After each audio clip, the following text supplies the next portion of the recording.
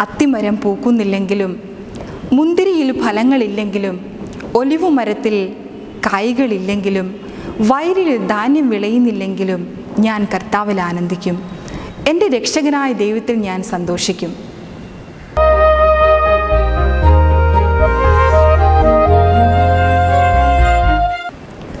ഈശോ മിശിഹായ്ക്ക് സ്തുതിയായിരിക്കട്ടെ. ഈശോയിൽ സ്നേഹം നിറഞ്ഞവരെ ജീവിതം എന്നത് ഒരു നാണയത്തിന്റെ ഇരുവശങ്ങൾ പോലെ.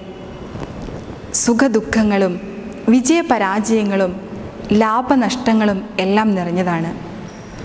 പക്ഷേ പലപ്പോഴും അപ്രതീക്ഷിതമായത് എന്തോ സംഭവിക്കുന്നത് പോലെ നാം ഒക്കെ പതറിപ്പോവാറുണ്ട്. കേരള ജനതയെ തകർത്തിയടിച്ച പ്രളയം ഇതുപോലൊരു വിറങ്ങലിപ്പാണ് ജനഹൃദയങ്ങളിൽ സമ്മാനിച്ചത്. അനുദിന ജീവിതത്തിൽ എത്രയെത്ര പ്രതിസന്ധികൾ? ഉത്തരമില്ലാത്ത ചോദ്യങ്ങൾ. ഇവിടെയാണ് അതിജീവനം ഒരു വെല്ലുവിളിയും ആവശ്യവുമായി മാറിയിരിക്കുന്നത്. ഇന്ന് നാം ധ്യാനിക്കുന്ന വിഷയം അതിജീവനം ഒരു ദൈവിക കൃപ. ഈ ദൈവിക കൃപയാൽ നിറയപ്പെടുമ്പോൾ അതിജീവനത്തിന്റെ സ്വർഗീയ ആനന്ദം അനുഭവിച്ചുകൊണ്ട് നമുക്കും പറയാൻ സാധിക്കും.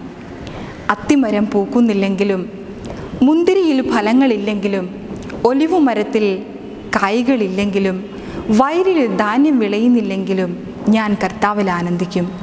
എന്റെ രക്ഷകനായ ദൈവത്തിൽ ഞാൻ സന്തോഷിക്കും.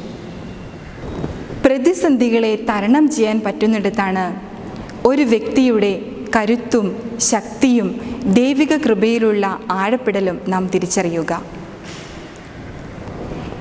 ഇങ്ങനെ ഒരു വ്യക്തിക്ക് മാത്രമേ ജീവിതത്തെ വിജയകരമായി മുൻപോട്ട് നയിക്കാൻ കഴിയുകയുള്ളൂ താനും. ഒരു ഉദാഹരണത്തിന് മണ്ണിൽ പാകുന്ന എല്ലാ വിത്തുകളും മുളയ്ക്കുന്നില്ലല്ലോ. ഉഗ്രമായ ചൂടിനെയും മറ്റ് പ്രതിസന്ധികളെയും എല്ലാം തരണം ചെയ്തു വരുന്ന വിത്തുകൾ മാത്രമേ മുളയ്ക്കുന്നുള്ളൂ. ഒരിക്കൽ തന്റെ ഹോബി എന്ത് എന്ന ചോദ്യത്തിന് ഒരു സഹോദരി നൽകിയ ഉത്തരം എന്നെ ഏറെ ചിന്തിപ്പിക്കുകയും അത്ഭുതപ്പെടുത്തുകയും ചെയ്തു. ഉത്തരം ഇപ്രകാരമായിരുന്നു. അനുദിന ജീവിതത്തിൽ നാം അറിഞ്ഞും അറിയാതെയും ആഗ്രഹിച്ചിട്ടും അല്ലാതെയും കടന്നുവരുന്ന പ്രതിസന്ധികളെ വിജയകരമായി തരണം ചെയ്യുക എന്നത്. പ്രിയപ്പെട്ടവരെ നമുക്കും അഭ്യസിക്കേണ്ടേ അതിജീവനം എന്ന ഈ കല. അങ്ങനെയാണെങ്കിൽ രണ്ട് സ്റ്റെപ്പുകളിൽ കൂടി ഈ അതിജീവനം നമ്മുടെ ജീവിതത്തിലും പ്രാവർത്തികമാക്കാൻ സാധിക്കും. ഒന്ന് അംഗീകരണം. രണ്ട് പ്രതീക്ഷ. ജീവിതാനുഭവങ്ങൾ എന്തു തന്നെയായിരുന്നാലും നഷ്ടങ്ങളോ പ്രിയപ്പെട്ടവരുടെ മരണമോ രോഗമോ എന്തു തന്നെയായിരുന്നാലും അവയെ ദൈവകരങ്ങളിൽ നിന്നും ഏറ്റുവാങ്ങുക സ്വീകരിക്കുക. ദൈവത്തിന്റെ കണ്ണിലൂടെ അവയെല്ലാം ഒന്ന് നോക്കിക്കാണുക. ഇങ്ങനെ ദൈവത്തിന്റെ കണ്ണിലൂടെ തന്റെ അനുഭവങ്ങളെല്ലാം നോക്കിക്കണ്ട് അതിജീവനം അഭ്യസിച്ച ഒരു വ്യക്തിയാണ് ബൈബിളിലെ ജോബ്. ദൈവം അറിയാതെ ഒന്നും എന്റെ ജീവിതത്തിൽ സംഭവിക്കുന്നില്ല എന്ന ബോധ്യം ആഴത്തിൽ ജോബിന്റെ മനസ്സിലുണ്ടായിരുന്നു.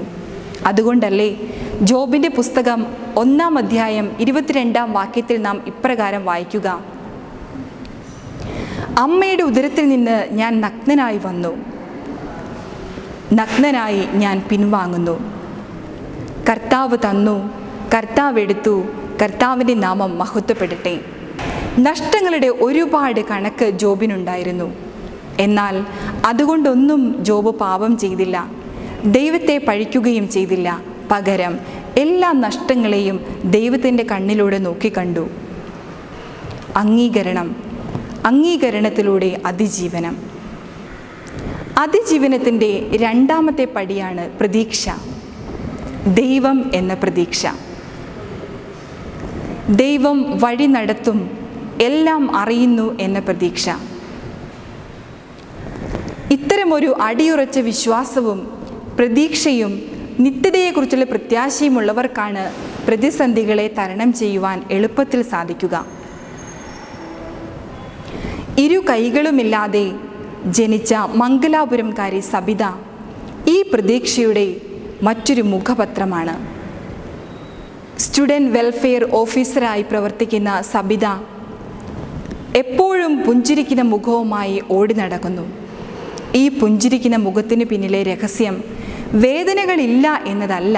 മറിച്ച് ആ വേദനകളെ തരണം ചെയ്യാനുള്ള കരുത്തും ഒരു പ്രതീക്ഷയും സബിതയുടെ മനസ്സിലുണ്ട് എന്നതാണ്. ഈ കരുത്തിലേക്കും പ്രതീക്ഷയിലേക്കും മനുഷ്യനെ നയിക്കാനുള്ള ഒരു കുറുക്കു വഴിയാണ് കുരിശിന്റെ ധ്യാനം. Think toys horizontally and vertically with a break and join your thoughts ഏത് പ്രതിസന്ധി ആയിരുന്നാലും അവയ്ക്ക് മുൻപിൽ നിന്നുകൊണ്ട് തിരശ്ശീലമായും ലംബമായും ഒരു ഇടവേളയിട്ട് ചിന്തിക്കുക. എന്നിട്ട് ആ ചിന്തകളെയെല്ലാം കൂട്ടിയോജിപ്പിക്കുക. അപ്പോൾ നമ്മൾക്ക് ലഭിക്കുന്ന ഒരു രൂപമാണ് ശക്തിയാണ് കുരിശ്. അത് മനുഷ്യ ചിന്തകളുടെയും ദൈവിക ചിന്തകളുടെയും ഒരു സംഗമ സ്ഥലം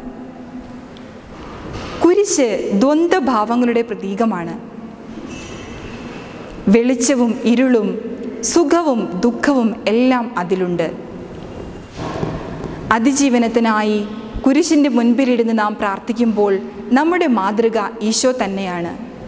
പക്ഷേ അതിജീവനം നമ്മുടെ കരച്ചിലുകളെ ഇല്ലാതാക്കും എന്നർത്ഥമില്ല.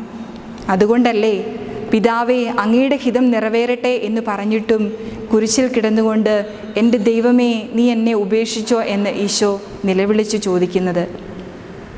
പരിശുദ്ധ അമ്മയിലേക്ക് വരുമ്പോൾ അമ്മ നിലവിളിക്കുന്നൊന്നുമില്ല. പക്ഷേ ഒരിക്കൽ പറഞ്ഞ ആമേൻ അമ്മ ജീവിത കരുത്തായി ഏറ്റുവാങ്ങി.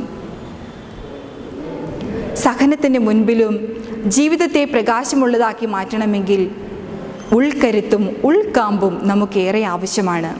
അതുകൊണ്ടാണ് അതിജീവനം എന്ന ധ്യാനം ഇന്നിവിടെ പ്രസക്തമാകുന്നതും. ജീവിതത്തിന്റെ പ്രതിസന്ധികളെ സമചിത്തതയോടെ നേരിടുവാനും ഉദ്ധാന അനുഭവത്തിനായി കാത്തിരിക്കാനും നമുക്ക് ജാഗ്രതയുള്ളവരായിരിക്കാം. ദൈവം നമ്മെ ഓരോരുത്തരെയും അനുഗ്രഹിക്കട്ടെ. ആമേൻ.